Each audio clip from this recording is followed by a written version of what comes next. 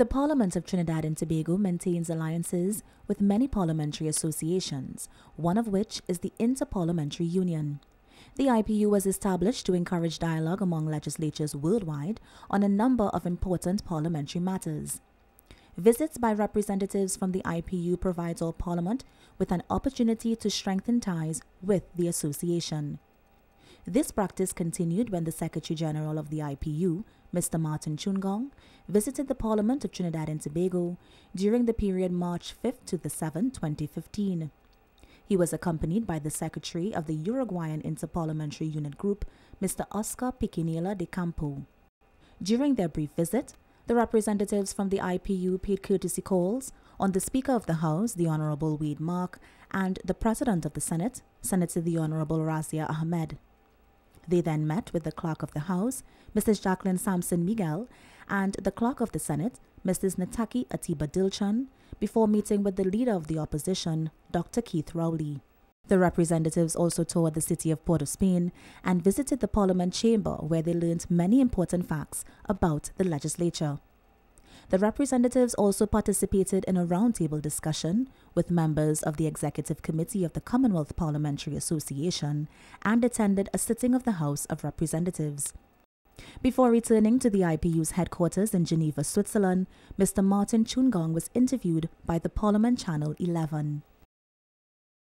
What are some of the key features of a strong and active democracy?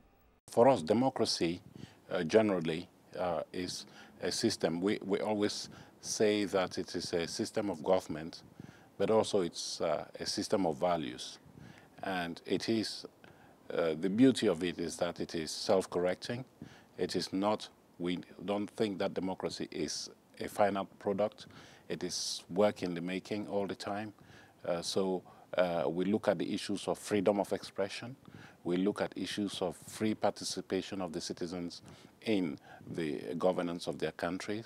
We look at uh, uh, the existence of strong institutions of governance, especially parliament that is independent, that is accountable. Then when we look at parliament as a pillar of democracy, we define a number of core values that it should embody. First of all, being representative, not only in terms of numbers, but also in terms of the issues that Parliament deals with.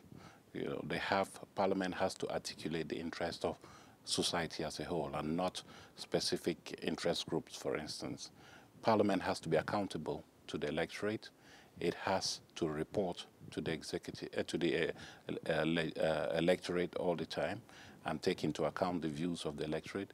It has to be accessible. It shouldn't be an ivory tower. And uh, generally, it has to be effective. So these are things that we have identified as being the hallmarks of a strong uh, uh, democracy and parliament's uh, status within a democracy. You know. Those are things that we are pushing for. A lot of what I have been told today by the presiding officers and the leader of the opposition in the House, uh, a lot of what they have told me uh, is uh, in conformity with this idea that we have of democracy. Uh, they all share the view that you need a strong, independent, autonomous parliament, and uh, this is a very legitimate ambition which we want to support. How can the Inter-Parliamentary Union assist the Parliament of Trinidad and Tobago to become a more democratic institution? The beauty of it is that the Interparliamentary Union, as the global umbrella of organization parliaments, uh, has a variety of experiences and practices across uh, parliamentary jurisdictions, and uh, it offers an opportunity for uh, exposing parliaments to good practice, good experiences around the world. It is something that the Parliament of Trinidad and Tobago may want to avail itself of. This is an opportunity that is available to all uh, parliaments around the world.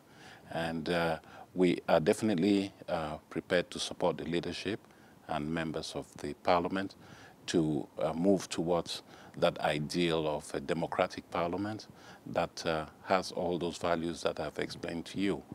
Uh, it is something that is on our agenda, and I'm looking forward to pursuing these discussions with the authorities, especially so as they have uh, already put in place uh, what they call a strategic plan for the next seven years, which is uh, something that articulates their vision for the development of Parliament in Trinidad and Tobago.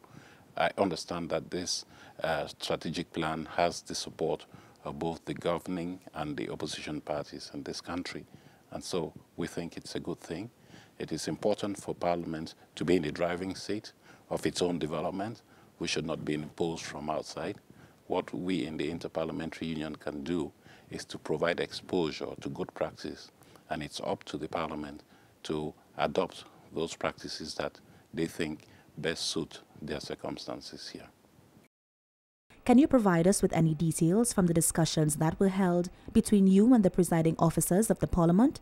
When it comes to uh, discussions regarding the functioning of uh, the Parliament here, uh, I was briefed by the two presiding officers on current efforts to reform the functioning of Parliament after 52 years of independence, I understand. Uh, the uh, efforts to build a strong committee system, look at uh, the issues of accountability, uh, providing uh, autonomy administratively and financially to the Parliament, and a host of other issues which I think can help improve upon this Parliament so that it becomes uh, uh, a truly democratic parliament in terms of being representative of society, in terms of being accountable to the people, in terms of being accessible and effective. So we discussed all of this and uh, I was pleased to um, inform them that the Interparliamentary Union stands at their disposal to provide support in uh, moving this agenda forward. Madam President of the Senate was very keen on uh, women's political representation. And I reassured her that that was one of my priorities at the IPU and that we can work towards building a coalition of women parliamentarians in Trinidad and Tobago to pursue gender-related issues, but other issues that have an impact on the people. On the other hand, we discussed the relations between the IPU and the Parliament, and uh, I told both presiding officers that one of my priorities is to take the organization to its members and to not rule the organization from headquarters in Geneva. And that is the purpose of my visit here, to reach out to uh, parliaments in the region. And uh, we are looking to Trinidad and Tobago to serve as an engine, as a locomotive for mobilizing the uh, parliaments of the Caribbean towards the IPU so that uh, this country can be a hub for the interparliamentary union in the region. So I received some very possible, uh, positive feedback from the two presiding officers, and we're looking forward to pursuing the discussions. Should parliaments adopt a system of autonomy? The principles of democracy, if you know, that you, you look at how government is structured, I mean government in the Anglo-Saxon acception of the word. That is the combination of the three arms, that is the executive and the, the judiciary and the legislative. The three have to work at arm's length of each other if they want to achieve effectiveness and efficiency. And there is a clear definition of uh, uh, roles and prerogatives. It is important that each arm of government be allowed to uh, exercise its prerogatives without encroaching on the other uh, prerogatives of the other arms. It so happens that in many uh, jurisdictions, you have a very strong executive and a parliament that is not very strong. And we are saying that uh, if you want a good parliament, it has to be strong, it has to be independent, it has to operate at arm's length from the government, it has to be autonomous. That means it has to have the resources that it has control over to manage its own affairs and exercise the powers that are recognized or enshrined in the Constitution. We see the relationship between the government, that is the executive, and the parliament as one of partnership. Each one has a role to play, it being understood that both are working towards serving the interests of the people, and that is the overriding concern that we have. How has your background in politics assisted you in completing your duties as Secretary General of the IPU? I will tell you something that I told uh, the members of the IPU when I uh, got elected last year, Secretary General. I told them that I had never run for public office, and the first, uh, my first attempt at running for a public office was when I campaigned to become Secretary General of the organization, which means that I have spent most of, all of my professional life working with parliaments without being a politician myself. I am a technocrat at the service of the parliamentary institution. And I think that it has helped me to uh, view uh, Parliament from a distance, but yet being close uh, to members of Parliament. It has helped me forge uh, some uh, sort of independence uh, of views, how I see Parliament functioning. I am not tainted, I would like to say, by being politically sensitive to one side or the other. I adopt a technocratic uh, point of view when it comes to serving parliaments, which gives me the opportunity to work with uh, politicians of all political persuasions. I think it is important.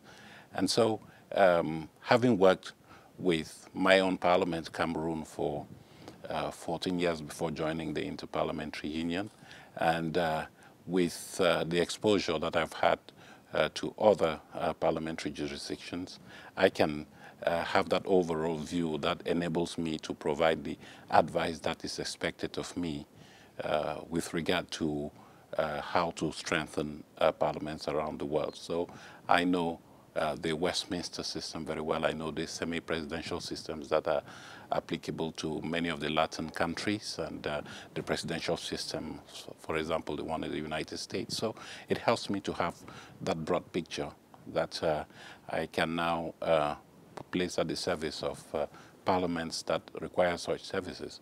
But what is Im uh, important is that uh, I think I know where the resources are, the knowledge resources are, and I can point uh, to those uh, resources when it comes to supporting a parliament like uh, Trinidad and Tobago. What are some of the projects that have been implemented under your leadership since assuming office in July 2014? One major thing that I have tried to do is to open up the organization, is to uh, make the organization more visible. Uh, and if I want the organization to be more visible, then I have to show that the organization is being more effective. And one thing that I have done is to reach out to uh, parliaments uh, all over uh, the world I have just been to uh, Paraguay. Paraguay is one parliament that has been very dormant within the IPU, and I've come away with the conviction that they are now ready to re-engage with the organization. I'm here in Trinidad for the first time for me, and uh, I'm going with uh, the conviction that the authorities in this country are very uh, positive towards engaging with the organization. So you have that uh, engaging with the membership that I think is going very well.